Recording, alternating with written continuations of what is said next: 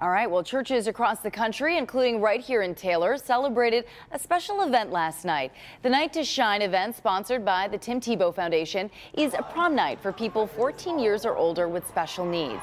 And this was the event in Taylor, just one of more than 700 Night to Shine events happening around the world at the same time. The night starts with a red carpet entrance, of course, and once inside, it has everything from dinner to dancing, karaoke, even bowling give them a night to show them that they are the kings and queens, to just shower love on them and just show them an amazing night.